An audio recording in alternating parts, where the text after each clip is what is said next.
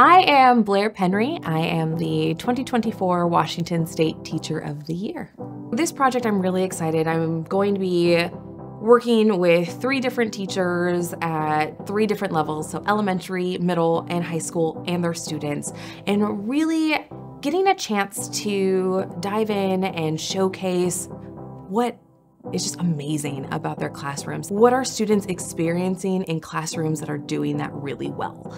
And so through this project, we're gonna be able to highlight those strategies, those best practices, and also just show the happiness that comes from learning in a, an environment and a community where students are able to be their authentic selves.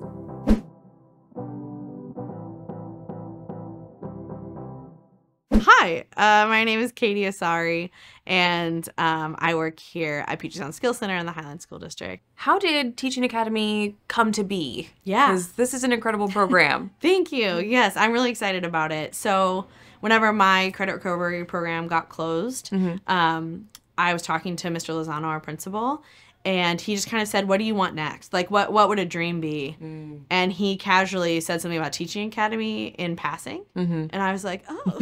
yes. Could you repeat that? Yeah. Uh, what are, what are you talking about? Mm-hmm. Um, and so from that day forward, I was like, I want a teaching academy. I want to be able to work with kids who want to work with other students Yeah. and become a teacher or a paraeducator or a coach or any. There's so many different ways to be involved in education. Yeah. But I really love the idea of working with kids who want to be in education. And I think it's really important to make sure that the kids in our community Yes. know that they can be teachers. Absolutely. And I think so often, though, not every kid feels like they get invited into the profession.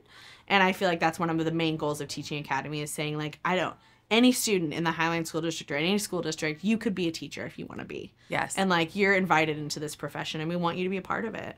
And so just getting to work with that and make sure that every kid can see themselves as a teacher if that's something that they want. I love that um, so much. Yeah.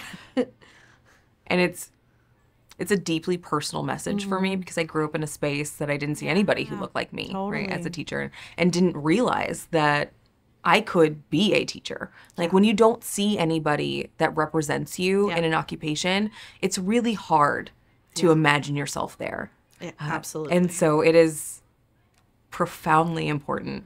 And thank you so much for speaking to it. So I feel like it was like a big move to try and get people to be more thoughtful about their choices and how they affect the them. So speaking about the space that you create Yeah. and the community that you create with your students, Mm-hmm. can you talk about what your process is that from the beginning of the year and the intentionality that you very clearly put along the way? Yeah. Because it doesn't stop. I can see that.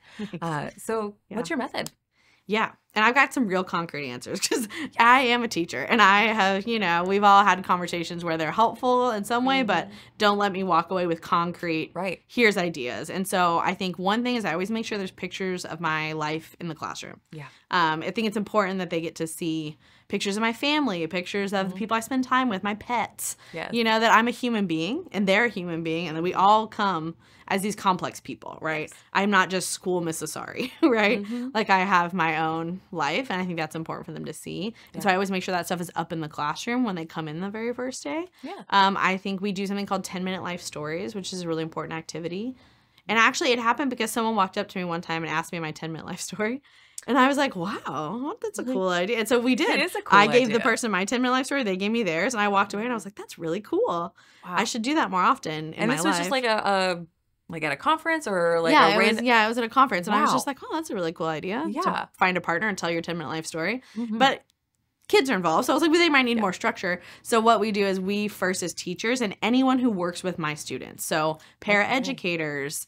Um, this year we had our inclusive education specialist, Miss Shauna Moore, our dean, came and gave her 10 minute life story. yes. Um, we all have all the adults that might come in and out of the room come give a 10 minute life story. Mm-hmm. Um, and you can do it however you want. I usually do a little Google Slides presentation with some pictures and yeah. and just and the adults 10 minutes always turns into a 20 minute life story. Of course. You know, that's okay. We have some years. Yes, we have a lot to offer. We have some chapters to go through. For sure. And so we usually do one a day. So Mm-hmm. for the first like week of school, they get to hear from a different adult every day about their life. And it's really cool to see how vulnerable a lot of the adults are willing to get and share some hard stuff that have happened to them. Yeah. Um yeah, just so kids know they're not alone, that like life isn't easy. And then we ask the students to prepare a 10 minute life story presentation and we take volunteers. So you like start with the kids who are most willing and Yep. eager, right? Um, and I will say my students are incredible and they really went to a level of vulnerability I did not expect. Mm. And the very first student like shared about some physical disabilities they have that are not necessarily visible, right? Mm, mhm. Um, and right away it really set the tone. And then every day we would get a different 10 minute life story. So it takes like a couple weeks, but it's so nice to every day yes. start the day hearing about someone's life in the Mhm. room and getting to really know them. And some students share more deeply than others, and that's okay. Yep. I don't force anybody to share something they don't want to share. Mhm. So that's one that I think is a really important way to start the year. Um, I love that it's continual, right? Yeah. It's not the first week we get everything done and then we never No. revisit this again. Like this is over weeks. This is Yeah. time that we are investing in you and in Mhm. each other. Yeah, absolutely. I think it's so important. Mm-hmm. And then we also started doing class meetings. So once a week we have a class meeting, um, and it I think it's often thought of as an elementary strategy. I'm a big Mm. believer that like almost everything we do in elementary we can do at the high school level, and it is beneficial to students. It is. I think we act like, oh well, they're gonna think it's st- dumb. They might. They're I mean, they kind of eye roll at me a little bit, and that's fine. They're still They're kids. teens, right? if they do it with an eye roll, I'm like, great, you still Right? did what I asked. You did it. I, I don't care. I'm yes. Immune to eye rolls, and so You're gonna have to be to be a high school teacher For sure. and a middle school teacher. I would agree. Yeah. So we like sit in a circle and we have a talking piece. It's a talking Toby. It's a little crocheted dinosaur student made me um, that we named it together. And we it. Wrote saw it on your norms. yeah, that's talking so Toby. great. And we wrote no norms for our class meetings. Mhm. And um, we ask a question and then we just pass around talking Toby. And you can pass or you can choose to answer. Mhm. Um, we don't pressure people who choose to pass, and we just go around the circle. And I think easy ones to start with. We started with aha, gratitude, or compliment. And so you got to pick do you want to share an aha, like something that really, oh, you Yeah. realized this week or whatever? Do you want to share a gratitude for someone in the room, or do you want to ask for a compliment? Mm-hmm. Because it's okay to ask people to give you a compliment if you're having a hard day. Yeah. And so that's often how I we kind of started. Because it's a mm-hmm. it's real easy. You get to pick one of the three, and then sometimes we do more silly questions like, "Do you believe in ghosts? Ooh. Why or why not?" Which was a fun hot topic. Yeah. Just stuff like that. And then we also like have asked some pretty deep ones, like, Mm. if you could tell your parents anything and they were would listen, what would you say to them? Yeah. You know, or and that one really opened up a big conversation about people's having trouble with their parents and Mhm. and that one I think was one of the ones that really pivoted to become more of a problem solving circle where kids were actually sharing what was going on with their parents and Wow. the conflicts they were having and people were sharing advice with each other. So I think the thing about class meeting that is special is it's also encouraging peer to peer interactions Yes.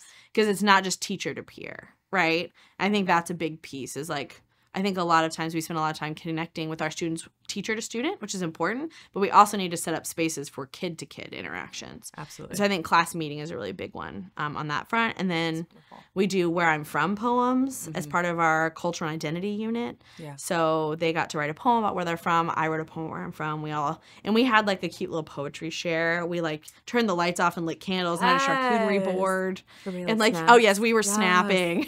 um, I had a wave light projector. It was like we really made it cute. I love Um, and people got to share their poems and read their poems aloud. Mhm. Um, and that was really sweet. And that, I mean, takes time again where we were reading poems, we're looking at them, we're writing them. Um, and then investing in that time again. totally. It's what we invest in. Yeah. Yeah. Yeah.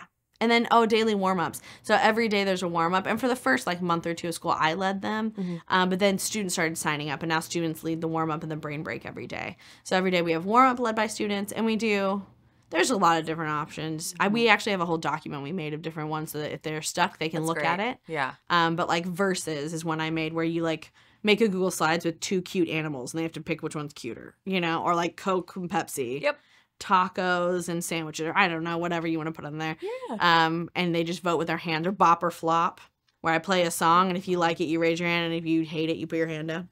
That's All right, I dig it. it's called bop or flop. So just a bunch of silly warm ups like that, but they start the day together. I think it brings a moment of unity. Yeah. Um, and then students get to start leading them. So then they get to start using their voice and picking which ones they like the best. And then brain breaks. We have two and a half hour blocks. So I think it's really important to get them up, moving, interacting. Oof, Yeah, out like, of the chair. I as an adult don't want to be sitting for two Yeah. and a half hours, so I can only imagine, right? Like yeah, we gotta move. for sure. So those are some of the like big ones that come to mind when I think about concrete activities mm-hmm. or like structures in my classroom that I think really support connections among students. Yeah. It's not a hard. Oh, time is sometimes experimental.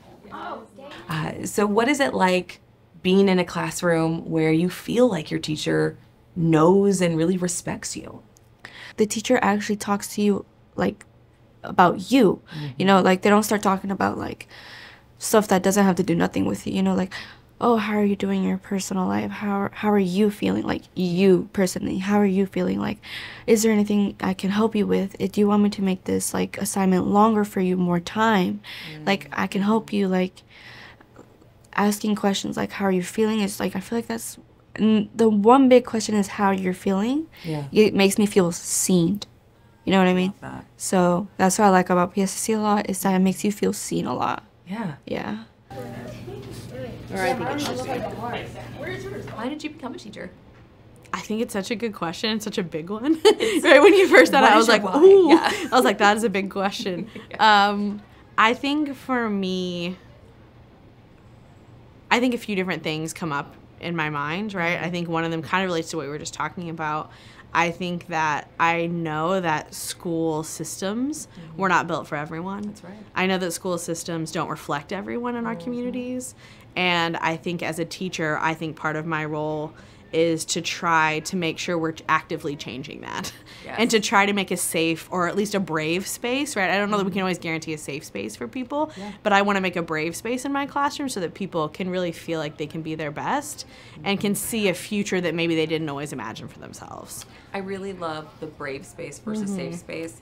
I think a lot of times when we talk about safe spaces, it defaults or defaults to whiteness, Yeah. right? A safe and comfortable place Yes. that whiteness can maintain its Yeah. presence. Um, and so to separate those two, I think Yeah. is really important. For right? This is a brave space. This is a space that we are going to build community where we're unafraid to be uncomfortable uh, because. Growth is uncomfortable. It's so uncomfortable. Like, that's why It's they call so it like the learning hard. pit, right? Like it's Yeah. hard. It's uncomfortable. Um, so I just I appreciate you Yeah. separating those two things, and For I think sure. As educators, like we need to acknowledge that, right? Like Yeah. safe is not the same for everybody. No. And when we say we're going to make this a safe space, most of the time, Yeah. we default to something that really isn't safe for everybody. I would agree. Mm. And so that's my hope is that we make brave spaces for kids to be able to grow and develop and see themselves in places they might not have before. Yeah. And just to be able to recognize their potential because I know that every child is capable of learning. I know that every child wants to learn. Yes. Even if it doesn't appear like that on the outside in the beginning. Um, and just I think that's my goal. It's just to help kids see that in themselves even if maybe they don't in the beginning.